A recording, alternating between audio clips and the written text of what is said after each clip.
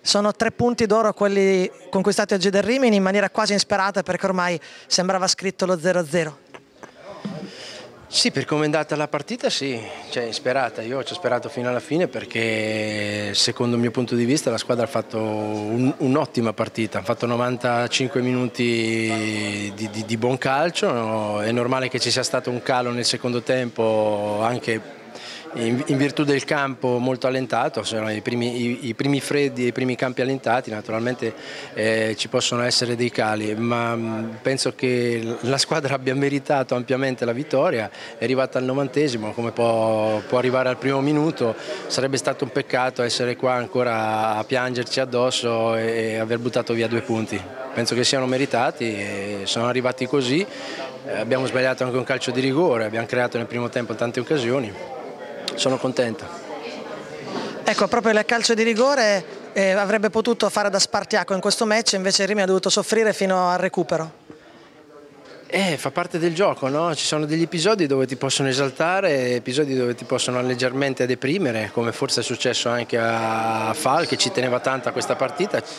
sicuramente ci teneva a, a, a, segnare il calcio di rigore, ci teneva a dare continuità nei, dice, nei, nei gol segnati, due domenica e ha avuto la possibilità oggi di, di, di, fare, di realizzare il calcio di rigore,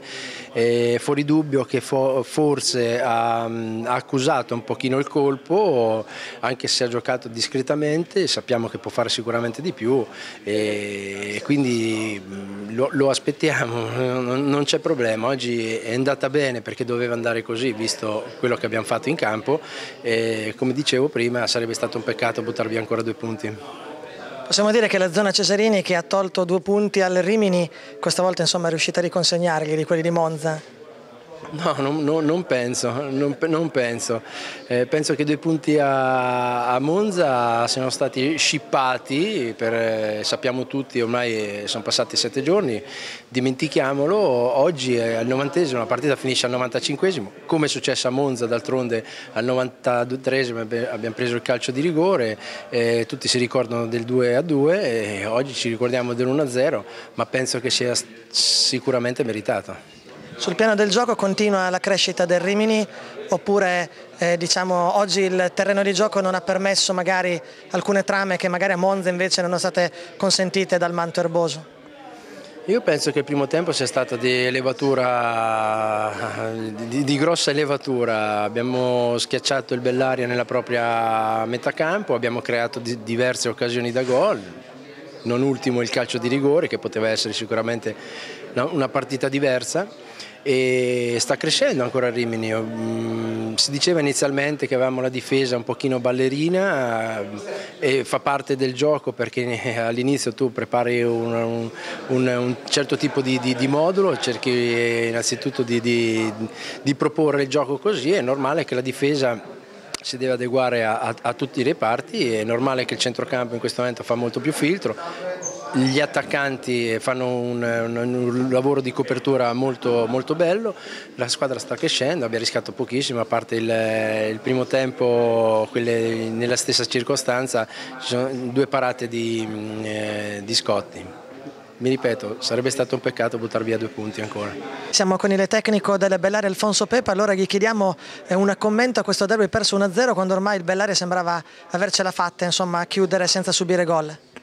Ah, sì, c'è rammarico, eh, abbiamo subito questo gol al 95esimo eh, che si poteva evitare, c'è un po' di rammarico, il derby purtroppo eh, anche se abbiamo nascosto un po' eh, di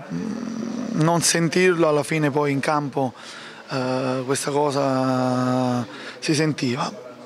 95esimo abbiamo preso gol, penso che Uh, un pareggio era un risultato giusto, visto che il secondo tempo abbiamo usato un po' tutti gli spazi,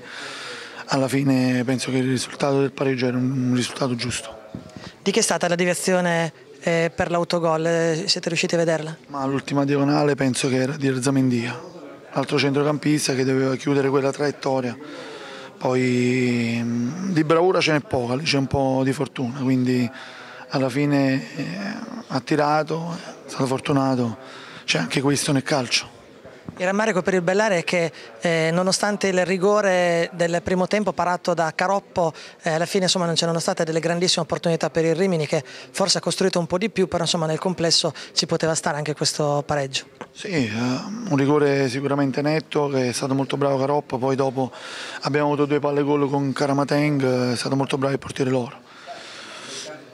classico derby dove la tattica diciamo, si è alzata di valore e quindi pochi tiri in porta noi e loro. Penso che il risultato del pareggio, come ho detto prima, è un risultato giusto. Alla fine loro sono stati premiati dalla fortuna. Un tiro dal limite, deviato e Caroppo non ha potuto fare niente. Si interrompe quindi la striscia positiva del Bellare dopo le due vittorie interne?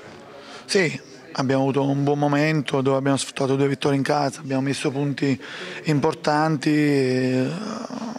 dobbiamo guardare già avanti, già da domani pensiamo a Monza, una grossa squadra anche perché ho visto un po' i risultati, è difficile trovare una squadra un po' come l'anno scorso il Milazzo e il Casale, quindi sono tutte squadre attrezzate per fare bene, scavalcare i primi sei e poi andare nei playoff addirittura per rimanere nella Lega Pro unica. Un Bellare che comunque sul piano del gioco non ha demeritato neanche quest'oggi. Ah, è stato un buon Bellaria, anche se la vogliamo dire tutta a sprazzi. Sinceramente qualche situazione non mi è piaciuta, martedì la rivedremo, cerchiamo di lavorare, oltre all'aspetto tattico anche mentale. Mentalmente il primo tempo non mi è piaciuto, dobbiamo fare di più, soprattutto un po' eh, chi è da chiocciola, deve correre di più, si deve sacrificare e deve aiutare i giovani. Questo è il giocatore che noi cerchiamo a Bellaria, quindi mm, non è stato un grande primo tempo, il secondo tempo un po' meglio, tatticamente siamo stati disciplinati, non abbiamo creati tanto ma, tanto, ma non abbiamo neanche subito, quindi abbiamo portato questa partita fino alla fine, poi sono stati fortunati. Non so se interpreto male, eh, si riferiva a Cesca quest'oggi? No, io mi riferisco a Capogrosso, Jefferson, Cesca e Perini, quindi loro sono da chiocciola, si deve correre di più, devono essere giocatori da Bellaria, giocatori da Bellaria sono quelli là che eh, devono dare qualcosa in più anche fuori dal campo, gliel'ho chiesto, lo stanno facendo, ci dobbiamo migliorare, stiamo alla sesta giornata, stiamo da due mesi assieme quindi giocatori da Bellaria sono questi, anche perché il 90% è una rosa di giovani, tutti inesperti, sappiamo che dobbiamo lavorare tanto, quindi